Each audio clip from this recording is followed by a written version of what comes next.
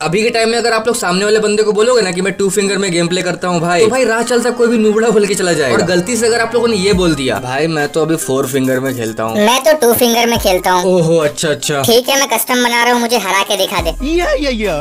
अच्छा एक बात बताओ तुम लोगों ने कभी ये सोचा है कि पीसी प्लेयर इतना खतरनाक गेम प्ले क्यों कर लेते हैं? हमको नहीं पता। क्योंकि भैया वो टेन फिंगर में गेम प्ले करते हैं। अगर हम लोग किसी काम को पूरा करने के लिए एक आदमी का सपोर्ट लेते हैं तो वो काम बहुत धीरे धीरे होगा और बहुत देर से खत्म होगा। लेकिन वही काम अगर हम लोग चार लोगों से करवाएँगे तो वो बहुत ज़्यादा फास्ट होगा और बहुत जल्दी खत्म होगा। तो मोरल ऑफ़ स्टोरी ये है कि जितने ज़्यादा फिंगर्स उतने ज़्यादा एडवांटेजेस तो आज के इस वीडियो में मैं आप लोगों को चार ऐसे पॉइंट बताने वाला हूँ क्यों आप लोगों को 2024 में फोर फिंगर में शिफ्ट होना चाहिए। और इसके साथ ही साथ मैं आप लोग को एक ऐसी लेजेंडरी कस्टमर छुट्टी देने वाला हूँ जो की वर्ल्ड वाइड फ़ेमस है। जो की हर बिगिनर प्लेयर अपने फोर फिंगर की जर्नी में यूज़ कर और यही नहीं लास्ट में ये भी बताऊँगा की आप लोग कैसे जल्दी से जल्दी फोर फिंगर में शिफ्ट हो सकते हो। कुर्सी की पेटी बाँध लो क्योंकि मौसम बिगड़ने वाला है। सो बात करते हैं पहले एडवांटेज के बारे में जो की है फास्ट मूवमेंट अब देखो अगर आप लोग एक टू फिंगर प्लेयर का गेम प्ले देखोगे तो आप लोगों को ना के बराबर मूवमेंट दिखेगा। और वही अगर आप लोग एक थ्री फिंगर प्लेयर का गेम प्ले देखोगे तो वहाँ पे आप लोगों को थोड़ा ज़्यादा मूवमेंट दिखेगा। और वो इसलिए होता है क्योंकि उसके पास एक एक्स्ट्रा फिंगर का एडवांटेज होता है। इसका मतलब ये है कि अगर आप लोग फोर फिंगर में खेलोगे तो आप लोग थ्री फिंगर वाले प्लेयर से भी ज़्यादा मूवमेंट कर पाओगे। बात करते हैं सेकंड पॉइंट के बारे में। जो की है फास्ट ग्लूअल देखो सेम चीज़ अप्लाई होता है इधर अगर आपके पास एक एक्स्ट्रा फिंगर हो तो आप लोग और भी ज़्यादा स्पीडली वॉल लगा पाओ और ये चीज़ आप लोगों ने पीसी प्लेयर्स को भी करते देखा वो लोग ऐसे वॉल लगाते हैं कि सामने वाले बंदे को हवा भी नहीं लगता है। अब बात करते हैं पॉइंट नंबर थर्ड के बारे में। जो की है यूनिक गेम प्ले अब देखो आप लोगों ने काफ़ी सारे बंदों को देखा होगा अलग अलग तरह से गेम प्ले करने का। जैसे कि जेरो एफ़ का खेलने का स्टाइल थोड़ा अलग है। वाइट एफ़ का खेलने का स्टाइल थोड़ा अलग है। फोर फ्लैग गेमर का खेलने का स्टाइल थोड़ा अलग है। तो जब आप लोग भी फोर फिंगर में शिफ्ट हो जाओगे तो आपका भी गेम प्ले स्टाइल थोड़ा यूनिक हो जाएगा। और थोड़ा अलग सा दिखाई देगा। बात करते हैं पॉइंट नंबर फोर के बारे में जो की है ऑलवेज बी सुपीरियर अब आप लोगों को तो अच्छे से पता है कि अभी थ्री फिंगर का कितना ज़्यादा ट्रेंड चल रहा है। मतलब हर एक दूसरे बंदे से पूछोगे तो वो बोलेगा मैं थ्री फिंगर में गेम प्ले कर लेकिन आज से लेके एक साल पहले कुछ ही बंदे थ्री फिंगर में गेम प्ले किया करते मतलब ये है की अगर आप लोग एक साल पहले थ्री फिंगर में शिफ्ट हुए होते तो आपका भी गेम प्ले बहुत खतरनाक होता अभी के टाइम तो मेरा बोलने का मतलब ये है कि अगर आप लोग अभी से फोर फिंगर में शिफ्ट हो जाओगे तो आने वाले टाइम में आपका गेम प्ले बहुत ज़्यादा खतरनाक हो सकता है। और ऊपर से फोर फिंगर वाले प्लेयर्स की मांग यूट्यूब में बहुत ज़्यादा है। मतलब अगर आप लोग एक फोर फिंगर के अच्छे प्लेयर बन जाते हो उसके बाद अगर आप लोग अपने हैंड कैम वाली वीडियोस अपलोड करोगे ना यूट्यूब में तो भाई भर भर के व्यूज़ आए ऊपर से बड़े बड़े स्ट्रीमर्स हुए बड़े बड़े रिएक्टर्स हुए वो आपके ऊपर वीडियोस बनाएँगे। और मतलब आप लोग यूँ ही फ़ेमस हो जाओगे अगर आप लोग एक फोर फिंगर के अच्छे प्लेयर बन जाते हो तो। अब बात करते हैं उस लेजेंडरी कस्टम एचडी के बारे में जो कि सिर्फ़ बिगिनर्स के लिए ही बनाई गई है। चलो पहले मैं आप लोग को कस्टम एचडी बना के दिखा देता हूँ। सबसे पहले तो आप लोग को लेफ़्ट फायर बटन को ऑलवेज पे सेट कर लेना है। और स्विच बटन को भी एनेबल कर लेना है। देखो अब यहाँ से आप लोग को वीडियो को बिल्कुल भी स्किप नहीं करना है। भले ही आप लोग पहले वीडियो को स्किप किया चलेगा। लेकिन अब यहाँ से बिल्कुल भी स्किप मत करना। सबसे पहले मैं जितने भी बेकार के बटन है उनको साइड कर लेता हूँ। जिनका यहाँ पे कोई भी काम ना हो। सबसे पहले यहाँ पे आप लोग को जो रन बटन है उस पर टैप करना जहाँ पे है वहीं पे रहने देना ठीक है? बस इसको सिंपली बड़ा कर लेना। अपने अकॉर्डिंग उसके बाद आ जाओ अब लेफ़्ट फायर बटन इसको भी सिंपली पूरा फुल कर देना। और इसको सेट करना है आप लोग को ऊपर में लेफ़्ट के साइड देख लो मैंने कहाँ पे सेट किया ध्यान से। जो क्लोक टावर का जो ऊपर वाला मीनार है ना उसके जस्ट ऊपर में सेट किया है। एंड अब आ जाओ सीट बटन पे। इसको आप लोग को राइट साइड से उठा के लेफ़्ट साइड में लेके आ जाना है। एज यूजल इसके साइज़ को भी आप लोग को पूरा मैक्सिमम पे रख देना है। इसको आप लोग को लेफ़्ट फायर बटन के जस्ट नीचे पे लगाना है। ध्यान रखना इन दोनों को चिपका मत देना थोड़ा थोड़ा गैप रहने देना ठीक है? वरना क्लिक करने में आप लोगों को ही प्रॉब्लम होगा। चलो अब आ जाओ ग्लोअल वाले बटन पे। इस वाले बटन को आप लोग को लेफ़्ट फायर बटन और सीट बटन के जस्ट नीचे पे लगाना है। ध्यान रखना ज़्यादा राइट में मत लगाना थोड़ा लेफ़्ट में लगाना है ठीक है? मतलब एकदम सीधे सीधे में नहीं रहना चाहिए। यही छोटी छोटी चीज़ें बहुत बड़ा रोल प्ले करती है मैं आप लोग को सच बता रहा हूँ। सिंपली अपने जोस्टिक वाले बटन को ग्लोअल में सटा देना है ठीक है? थोड़ा छोटा करके चिपका देना। मतलब हल्का सा टच होना चाहिए ठीक है? अब आ जाओ स्विच बटन पे। स्विच बटन को भी आप लोग को राइट साइड से लेफ़्ट साइड में लेके आ जाना है। एंड कुछ यहाँ पे आप लोगों को लगा देना है। ये हो गया लेफ़्ट साइड का सारा काम। अब आते हैं हम लोग राइट साइड में। तो सबसे पहले तो हम लोग यहाँ पे गन बॉक्स को थोड़ा सा बड़ा कर लेते हैं और इस चीज़ को हम लोग थोड़ा सा अपने अकॉर्डिंग एडजस्ट कर लेते हैं। हम लोग आते हैं स्कोप बटन पे। देखो मैं आप लोगों को सजेस्ट करूँगा कि आप लोग स्कोप बटन को राइट साइड में ही रहने दो। मतलब राइट साइड में कहीं पे भी रख लो कोई मैटर नहीं करता है। लेकिन उसको आप लोग लेफ़्ट में मत लेके जाना। क्योंकि ऑलरेडी लेफ़्ट में बहुत सारे बटन हो चुके हैं। अब आते हैं हम लोग फायर बटन में। देखो मैं इसको वहीं पे सेट करूँगा ना जहाँ पे इसका सही जगह है। मतलब ज़्यादा ऊपर भी नहीं ज़्यादा नीचे भी नहीं। अब आते हैं हम लोग जंप बटन पे। ये वाले बटन को आप लोग राइट साइड में रहने देना है ऊपर की तरफ़ ठीक है? अभी मैं आप लोग को सब कुछ बताऊँगा कि आप लोगों को कौन से फिंगर से कौन सा बटन दबाना है ठीक है? सो इस वाले बटन का भी साइज़ में फुल कर लेता हूँ। इसका पोजीशन मैं अपने गन बॉक्स के जस्ट बगल में रख रहा हूँ ठीक है? इसके साथ आप लोग ये भी देख लो कि मैंने गन बॉक्स से कैसे दूरी मेंटेन करके रखा है। मतलब ज़्यादा चिपकाना नहीं है आप लोग ठीक है? अब ये बन गई एक फोर फिंगर की बिगिनर वाली कस्टम एचयूडी इनमें इन बटन को ज़्यादा वैल्यू दिया गया क्योंकि एक बिगिनर फ्रेंडली कस्टम एचयूडी है तो इसलिए भी मैंने यहाँ पे जंप बटन को राइट साइड में रखा मैं आप लोगों को बताता हूँ कि आप लोग कौन से फिंगर से कौन सा बटन को क्लिक करना है। सबसे पहले बात करते हैं जंप बटन के बारे में। जंप बटन को आप लोग राइट साइड के इस वाले उंगली से क्लिक करना है। जिसको हम लोग शहादत उंगली भी बोलते हैं। और स्कोप बटन को भी आप लोग उसी उंगली से क्लिक करना है। और जो आपका राइट साइड का फायर बटन है आप लोग उसको थम से क्लिक करना है। ये तो सभी को पता होगा। अब आते हैं हम लोग लेफ़्ट साइड की तरफ़। यहाँ पे ध्यान से देखो। जो आपका रन बटन है ग्लूअल वाला बटन है और स्विच बटन है। इन तीनों बटन को आप लोग अपने थम से क्लिक करना है। लेफ़्ट साइड वाले थंब और जो आपका लेफ़्ट फायर बटन है और सीट बटन है इन दोनों बटन को आप लोग अपने थर्ड फिंगर से क्लिक करना लेफ़्ट हैंड के थर्ड फिंगर से। मतलब हाँ हाँ ये वाला उंगली शहादत उंगली। ये बात हो गई की आप लोगों को कैसे कैसे कौन से बटन को क्लिक करना है। अब मैं आप लोग को इस वाले कस्टम में खेल रहे बंदे का गेम प्ले दिखा देता हूँ। मतलब आप लोगों का गेम प्ले कैसा हो सकता है।